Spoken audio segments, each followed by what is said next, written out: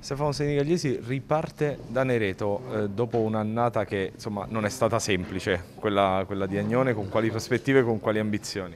Speriamo con un po' più di serenità, primo perché è stata un'annata probabilmente la più brutta della mia carriera, non solo dal punto di vista tecnico ma anche dal punto di vista umano e, detto questo è un passaggio che comunque non rinnego, Agnone è stato un paese bellissimo, persone brave, gentili, educate, però purtroppo mh, sono capitato nel periodo sbagliato, altrimenti sarebbe stato comunque piacevole anche la permanenza ad Agnone.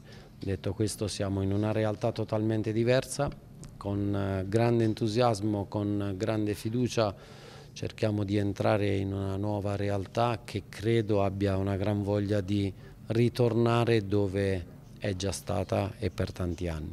Una stagione di esordio per il Nereto, eh, nella quarta serie come se l'aspetta Senegalesi?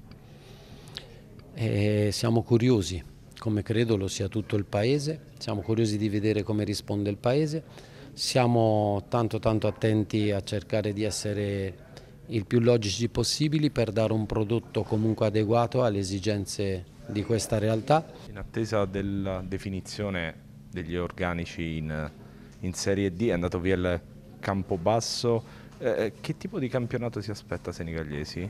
Senza una vera e propria ammazza campionato?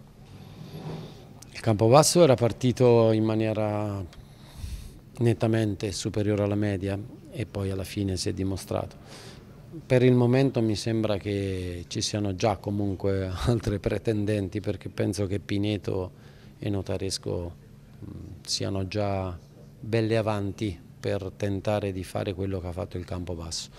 Per il resto bisogna aspettare perché siamo ai primordi dell'inizio, quindi il mercato ormai è diventato altalenante, non si fa più come una volta che le cose venivano decise e definite all'inizio ma si va in itinere, quindi per il discorso anche dei fuori quota, quindi penso che sia meglio aspettare prima di fare brutte figure nel dare giudizi. Qui ci sono delle persone molto competenti, eh, a partire dal Presidente che ringrazio per avermi dato questa opportunità ma tutti, il direttore sportivo, gli operatori di mercato, sono tutti veramente all'altezza e ogni giorno mi impegnano troppo tempo che non vorrei perché hanno tantissime idee e mi sembra tutte all'altezza.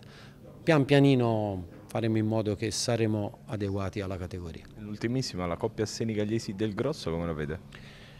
Eh, le immaginavo la domanda, e, è un onore per me perché comunque lui si è dimostrato un ragazzo di un'intelligenza e di una disponibilità mh, incredibile. Lui ha fatto un percorso troppo frettoloso su richiesta della società e credo che sia stato anche messo un po' in difficoltà dalle situazioni.